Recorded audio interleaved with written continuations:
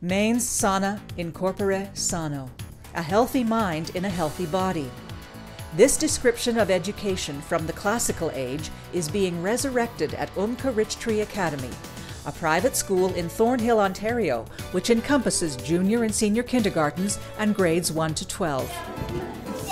Junior and senior kindergarten classes give children a solid grounding in languages, math, science, geography, dance, music, physical education, and arts and crafts.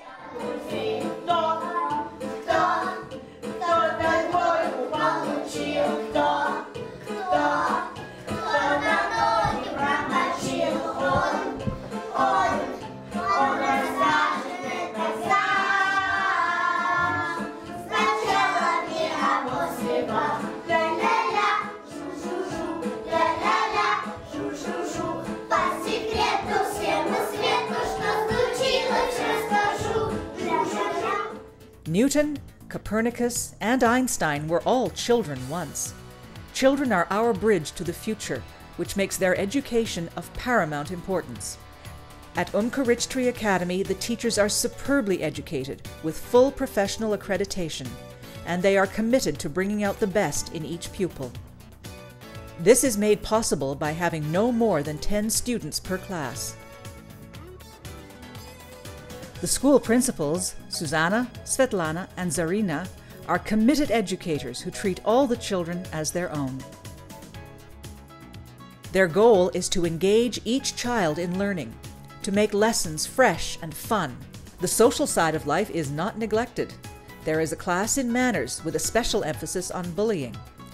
The school took part in a Pink Week, which promoted recognition of and actions preventing bullying.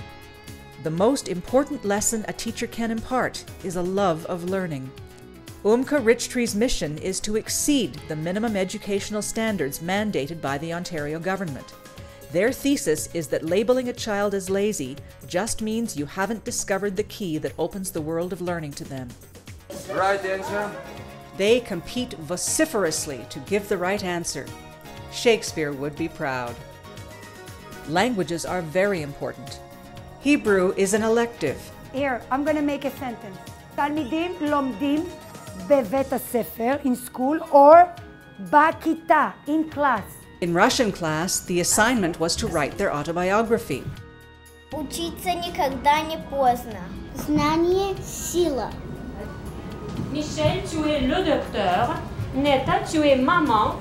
Yannick, tu es le malade. Eh bien, Older students role play with one French teacher, while junior students take un leçon vocabulaire. Il neige aujourd'hui, oh là là. Spelling and grammar are emphasized in English class. The children are correcting the spelling in these sentences. There is a certified speech pathologist for those who have speech and language difficulties. Computer training is essential to success in today's world. In the age of the internet, information is cheap, but education is expensive, which makes the best teachers worth their weight in gold.